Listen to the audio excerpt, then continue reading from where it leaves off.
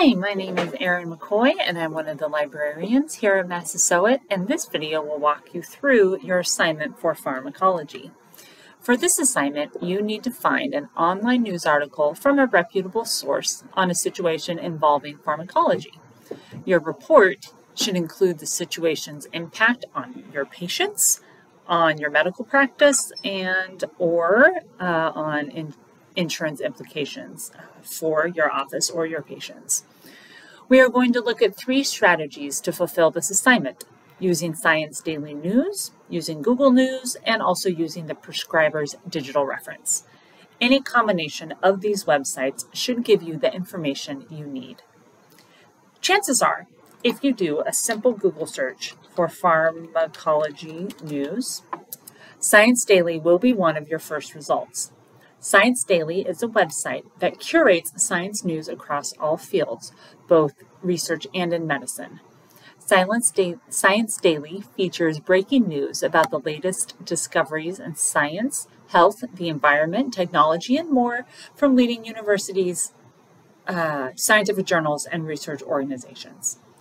The website gathers the top news and organizes it in an easy way to browse uh, for practitioners to find what they need quickly. There are two ways to interact with Science Daily, the browse topic here at the top and the search bar within the website. If you click on Browse Topics, you'll notice a list organized alphabetically by theme and type. Because we are looking for more specific information, we are going to use the search feature today. You can use the search to find most recent news about pharmacology, or you can search a specific drug or condition. I'm going to uh, use our example uh, as looking up a specific drug. That's very common.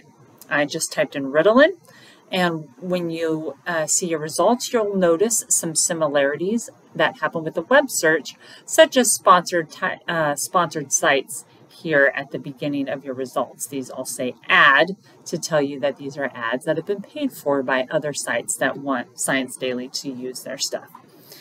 So after you sort by date in order to get the most recent uh, articles first, you'll see uh, the kinds of stories that might interest you uh, that have come out about Ritalin and uh, what is happening with this specific drug. Additionally, you can search specifically at Google News, which is different than a Google search. It also curates daily news, and you get to Google News by typing in google dot or sorry news.google.com. If you're just browsing, again, you can choose health topic and then you can actually choose any of these health topics. Uh, I will choose medication since that's what we're doing. And you'll find uh, your results again organized by date. And you'll uh, see your, your stories coming from a variety of news and science websites. You can also use the search bar uh, and just search for medication or a specific drug that you're uh, looking at as well and you'll see, again, very uh, uh, recent results. Remember, for your news article, you need to save the website URL of the actual article and post it to your class so that your classmates can have a chance to read it. I also wanted to point you to one other additional resource you should know about for further investigation called Prescribers Digital Reference or PDR.net.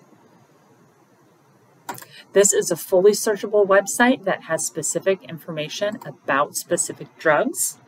So I'll do Ritalin again. And you can search for what is being referenced in your article for details about the drugs that your, uh, that your article is about. And these details from PDR will make your report more robust. As you can see, uh, there's a drug summary here for Ritalin uh, what class it's in, the brand name, how it gets administered, um, which pharmaceutical companies produce it, what the recommended dosages are, how it interacts with other drugs. You can get all those kinds of details uh, at pdr.net. Uh, that again might expand some information that you would have in your report. So again, with those three uh, websites, uh, using Science Daily News or Google News plus PDR, I think you'll be able to find everything you need, but please reach out if you have any questions or need assistance.